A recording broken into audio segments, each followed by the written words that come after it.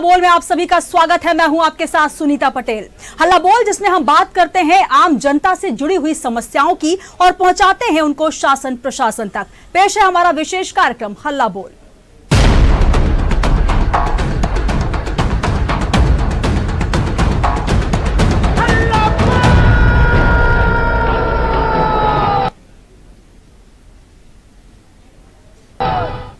हल्ला बोल में आज हम बात करने वाले हैं मध्य प्रदेश के सिंगरौली की।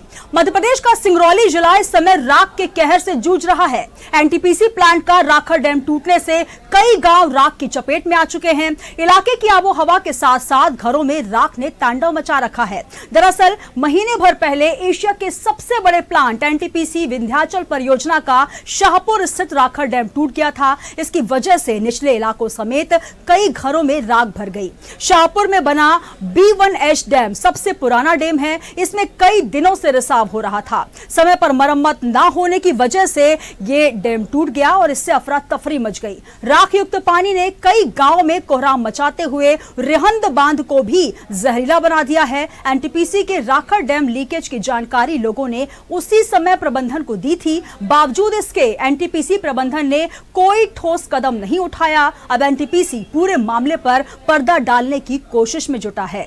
वहीं कलेक्टर केवीएस चौधरी ने मौके का मुआयना किया और एनटीपीसी को राख डैम से हुए नुकसान की भरपाई करने के लिए निर्देशित किया।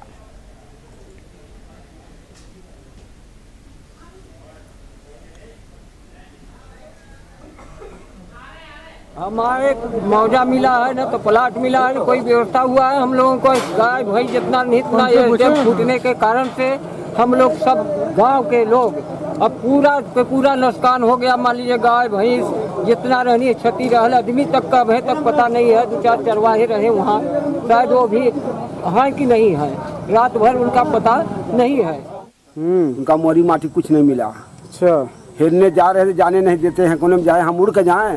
क्यों नहीं जाने दे रहे हैं? कहने गेट पर दिखाओ। हम्म। ये तो यहाँ का नियम है। अच्छा। नेता परेता को कहीं का पता भी नहीं चल रहा है। और समस्या वही है हमारी गैया मिल जाए तीन ठे गैया हैं दो ठे बछरू। किस गाँव के हैं? गहिलगढ़ पूरा चारे जात कितना बता पाएँगे हम किसका गए थे। सोए हैं खाना भी नहीं खाए। काहे? लेकिन कहीं कहीं कहीं अगर अगर टूटा हुआ है तो गुणवत्ता भी इनकार हुआ होगा ये डैम बनाते नहीं गुणवत्ता तो हमेशा एनटीपीसी हमेशा गुणवत्ता काम करती है और गुणवत्ता तो हुआ है। उसमें ऐसा कोई वो नहीं तो है। कितना टूट गया?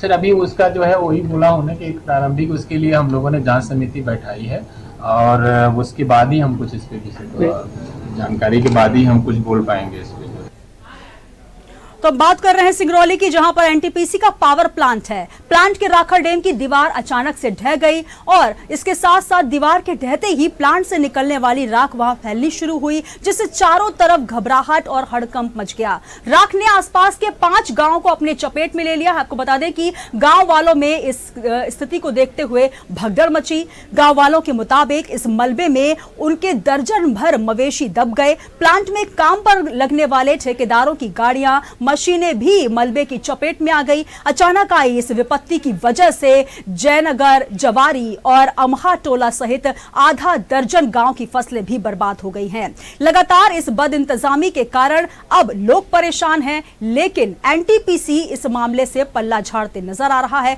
यह पूरा मामला लापरवाही से तबाही का नज़र आ रहा है।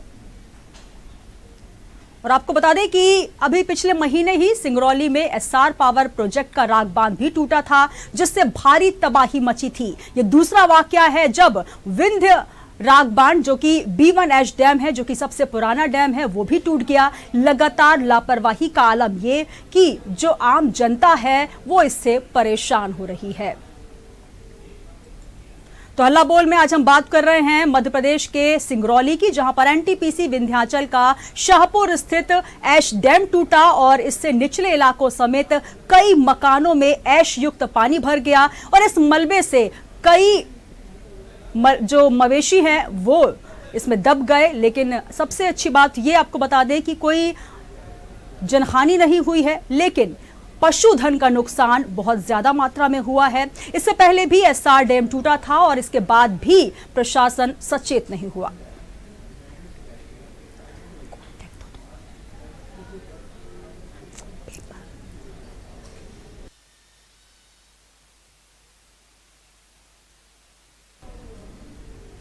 तो हल्ला बोल में आज हम बात कर रहे हैं आम जनता से जुड़ी उस समस्या की, जिससे लगातार जनता परेशान है। एनटीपीसी विंध्याचल का शाहपुर स्थित एच डैम, जिससे मलबे के नीचे कई पालतू पशु जो कि दब गए, लेकिन उसके बावजूद अभी भी एनटीपीसी की तरफ़ से कोई कदम नहीं उठाया गया। ये पूरा मामला लापरवाही का है। इससे पहले भी सिंगरौली में एसआर पावर प्रोजेक्ट का राग बाँध टूटा था, जिससे भारी तबाही मची थी और इसके बाद एनजीटी ने सुप्रीम कोर्ट को ऑन रिकॉर्ड इसको दिया था। अधिवक्ता अश्विनी दुबे की शिकायत पर एक टीम सिंगरौली भी पहुँची थी। वही मामला अभी चल रहा था और इसी बीच ये दूसरा मामला आपको बता रहे हैं। एनटीपीसी विंध्यनगर का एश डैम टूटा और अभी तक इसके लिए कोई भी पुख्ता इंतज़ाम नहीं किए गए, हालाँकि कलेक्टर के द्वारा निर्देशित किया गया है।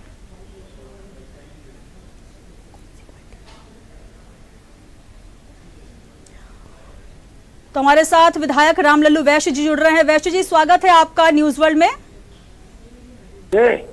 आ, सर हम बात कर रहे हैं सिंगरौली के एनटीपीसी डैम की एश डैम जो कि टूट गया है। क्या लगता है ये लापरवाही का मामला और अभी तक इसमें कोई भी सुध नहीं ली जा रही है? लगातार जो मलबा है वो लोगों के घरों में पहुँचा और कई पशुधन का भी इसमें नुकसान हुआ है। क्या कहेंगे आप?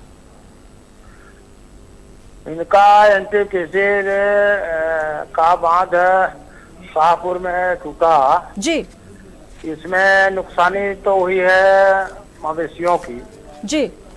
और खेतों में भी पानी भरा गाँव में भी घुसा। जी। प्रशासन को हम सबने कहा है कि तत्परता के साथ उनकी जो क्षति हुई है उसका मुआवजा दें और एनटीपीसी को यह आगाह करें किस तरह के बात बनाने पर उनको सजा मिलनी चाहिए जितना भी हो उनके खिलाफ कार्रवाई होनी चाहिए। जी यहाँ पर वैसे सबसे बड़ी बात यह है कि इससे पहले जब बाँध की जो जो डैम है वहाँ की जो दीवार है उसकी जानकारी दी गई थी लोगों के द्वारा कि वहाँ पर इस तरीके की क्षतिग्रस्त होने की संभावना है लेकिन उसके बाद भी प्रशासन नहीं जागा। और सबसे बड़ी बात एनटीपीसी की लापरवाही है लेकिन अभी तक कोई बड़ा एक्शन नहीं लिया गया है। अब वो एक्शन जिला प्रशासन सभी लोग थे सब बात हुई है। जी। अब ये है कि अब भाई चार दिन की तो बात है तो अब उन करने की तो बात ये है कि हम लोग जो भी हो सकता है अधिक से अधिक उनके नुकसानी का भरपाई करेंगे। जी। और उसी के लिए जाँच परीक्षण चल रहा है क्योंकि क्या है कि मवेशी तो छूटे थे किसी के घर में होते थे कि बात होती है। अब उसका परीक्षण करने की आवश्यकता है। कि किस व्यक्ति की कितनी है। ये खुद भी घर पर नहीं कर पा रहे हैं तो क्या बताया जाए? कुछ न कुछ कमी होने के बावजूद भी हम लोग उसको नहीं कहना चाहते कि पब्लिक में भी कुछ कमियाँ है। जी यहाँ पर वैसे जी आपसे जानना चाहेंगे अभी जनप्रतिनिधि होने के नाते क्या कुछ संभावना आपको लग रही है? कितनी जल्दी जो जनधन का नुकसान हुआ है उसका आकलन हो जाएगा और लोगों की समस्या का समाधान हो पाएगा? तो ऐसा लगता है कि एक महीने के अंदर हो जाएगा। एक महीने का समय लगेगा। तब तक के लिए वैकल्पिक व्यवस्थाएँ क्या कुछ की जा रही है वहाँ पर? अब अब लगे तो है प्रशासन अभी लगा है और। भी जाँच पड़ताल प्रक्रिया चल रही है और उनको भी आगाह किया गया है कि भाई आप लोग एक तो बघौरा एसआर का टूटा था सबक नहीं ले रहे हैं इसी तरह आपका टूट गया। अभी इसी तरह की एक लड़ाई आ रही है रिलायंस का हरहवा में भी। तो आप लोग ये सब किस तरह से कर रहा है प्रशासन ने देखता नहीं। जिन इंजीनियरों को मापदंड के आधार पर राखी डैम बनाना चाहिए वो नहीं बना पा रहे हैं। जी। तो पब्लिक के साथ तो ये धोखा है ही। बिल्कुल और यहाँ सबसे बड़ी बात है जो रेहंद डैम है जहाँ से लोगों के लिए पानी की सप्लाई होती है उसमें भी राख युक्त तो पानी जा चुका है। पीने के पानी की समस्या तक आ चुकी है उसके लिए किस प्रकार की व्यवस्था है? जी। और हम लोग इसी बात को कहते हैं कि ये प्लांट लगा देश को बिजली ज़रूर मिल रही है पर आसपास के गाँवों का विनाश हो रहा है। बिल्कुल हमारे साथ जुड़े रहिएगा वैश्य जी हमारे साथ रमापति जायसवाल जी जिला उपाध्यक्ष बराबर निरंतर बात करते हैं पर शासन जो पुनर्वास नीति कह लीजिए अथवा प्रदूषण नियंत्रण विभाग को कह लीजिए ये सब मौन लगा के बैठ जाते हैं ये कमियाँ तो है सरकार बिल्कुल और जब घटनाएँ दुर्घटनाएँ घट जाती हैं उसके बाद सब चेतते हैं ये सबसे बड़ी विडंबना है हमारे साथ रमापति जायसवाल जी जुड़ रहे हैं। रमापति जी स्वागत है आपका। जी नमस्कार।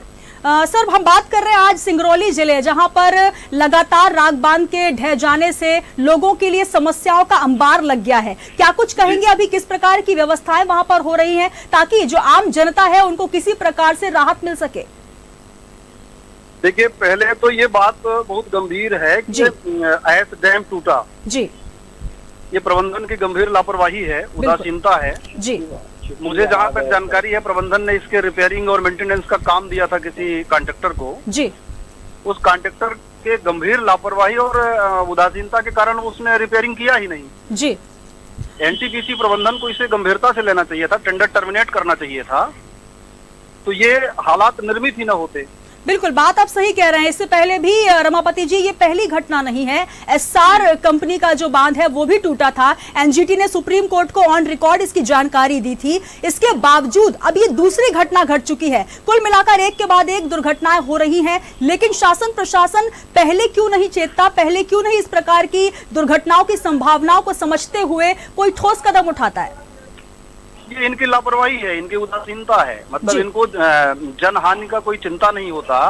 ये तो केवल प्रोडक्शन और प्राइस प्राप्त करने के चक्कर में यहाँ का जो स्थानीय हमारे सिंगरौली का वासी है उसके हितों की चिंता जराती भी करने का ये लोग सोचते ही नहीं। जी। अब ये एस डाइक का जो राखड़ है हमारे यहाँ की जीवन दायनी रिहंद डैम है वहाँ जाके जुड़ रहा है जो हमारे यहाँ के लोगों को जहर पीने के लिए बाध्य कर रहा है। जी बिल्कुल यहाँ पर आपसे समझना चाहेंगे रमापति जी जनप्रतिनिधि होने के नाते क्या कुछ जानकारी आपको मिल पाई है? कब तक इन समस्याओं का समाधान हो पाएगा? हालाँकि लल्लू राम जी हमारे साथ जुड़े हुए हैं जिनका कहना है की एक महीने का समय लगेगा जो की बहुत ज़्यादा है। एकदम माननीय विधायक जी हमारे क्षेत्र के लोकप्रिय विधायक हैं जी। और हमारे नेता हैं उनकी बात से मैं भी सहमत हूँ। जी। और जैसा उनका प्रशासन के साथ बातचीत हुआ होगा उस अनुसार वो एक महीने का समय बता रहे हैं। जी। मैं भी समझ सकता हूँ कि एक महीने लगेंगे परंतु ये समय बहुत ज़्यादा है। इतने के भीतर यहाँ सिंगरौली का निवासी हमारा पीड़ा का अनुभव करेगा। प्रशासन को इसे और जल्दी ठीक करना चाहिए। बिल्कुल तो लगातार लापरवाही पर लापरवाही देखने को मिल रही है लेकिन समय की सीमा बहुत ज़्यादा दी जा रही है इससे कहीं ना कहीं आम जनता परेशान है। लेकिन सबसे बड़ी समस्या ये है सर कि आखिर क्यों नहीं कोई वैकल्पिक व्यवस्था की जाती? क्योंकि एक बाँध जब टूटा और दूसरे की जानकारी दी गई कि यहाँ पर भी इस प्रकार की संभावनाएँ बन रही है शासन प्रशासन नहीं चेता एनटीपीसी का पूरा अमला जो है वो भी लगातार उदासीन और लापरवाह बना रहा। देखिए एनटीपीसी के चार डाइक हैं। यहाँ सिंगरौली में जी। अलग अलग स्थानों पर चार या पाँच एस डाइक हैं। जी। इन उन एस डाइकों की कैपेसिटी भी पर्याप्त है। जी। लेकिन ये लगातार इसी एस डाइक को फुलफिल कर रहे थे। ये भयंकर उदासीनता अथवा लापरवाही है। इसमें तो ज़िम्मेदारी तय होनी चाहिए। जैसा माननीय एनजीटी माननीय हरित न्यायालय का जो निर्देश है जी। उसके पालन की अपेक्षा तो हम सिंगरौली के सभी नागरिक करते हैं। बिल्कुल तो लगातार अब लापरवाही का ये आलम है कि अब एक महीने के समय सीमा के बाद भी कुछ कहा नहीं जा सकता कि किस प्रकार से लोगों की समस्या का समाधान होगा। बहुत शुक्रिया रमापति जी हमारे साथ जुड़ने के लिए और विधायक साहब वैश्य जी आपका भी हमारे साथ जुड़ने के लिए बहुत शुक्रिया और उम्मीद यही करेंगे कि जल्द से जल्द इस समस्या का निराकरण हो सके, निदान हो सके, ताकि लोगों को इस समस्या से छुटकारा मिल सके, उनकी समस्या का समाधान हो। तो हम आपको बता दें कि आज हल्ला बोल में हम बात कर रहे हैं उस प्रोजेक्ट की राख बाँध जो कि जुड़ा हुआ है एनटीपीसी से, लेकिन एनटीपीसी के तमाम जो अधिकारी हैं, वो कहीं ना कहीं उदासीन बने रहे, लापरवाह बने रहे और लापरवाही से तबाही का आलम देख सकते हैं टीवी स्क्रीन पर, जहाँ पर भारी मात्रा में मलबा जो कि गाँव तक पहुँचा और इसकी चपेट में पाँच गाँव आए। पाँच गाँव के साथ साथ राख युक्त पानी का तांडव जो है, अब रिहंद बाँध तक भी पहुँच चुका है। पीने के पानी की समस्या बन चुकी है, लेकिन अभी कलेक्टर द्वारा निर्देश दिया गया है कि जल्द से जल्द इसका समाधान किया जाएगा। लेकिन विधायक साहब से, साथ ही जिला उपाध्यक्ष साहब से जो जानकारी हमें मिल पा रही है, उसमें एक महीने का समय लग पाएगा, जिससे इस भारी मशक्कत के बाद अब छुटकारा मिल पाएगा। सबसे बड़ी बात यह है कि यह पहली घटना नहीं है। इससे पहले भी एसआर कंपनी का बाँध, जो कि राग बाँध था, वो टूटा था। उसके बाद ये दूसरी घटना, जो कि बहुत कम समय में हुई, लेकिन अभी तक शासन प्रशासन और साथ ही एनटीपीसी के द्वारा कोई भी ठोस कदम नहीं उठाया गया है। स्थिति जो है काबू में है, लेकिन कहीं ना कहीं विडंबना यह है कि लापरवाही के चलते पाँच गाँव इसके चपेट में आ चुके हैं। रिहंद डैम का पानी जहरीला हो चुका है।